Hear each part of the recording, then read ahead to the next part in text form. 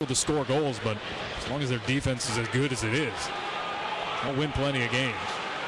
Icing waved off as the Comets pitch it in. Clearing attempt goes awry. Anderson holds, shoots, score! Kenins on the deflection. 2 nothing Utica.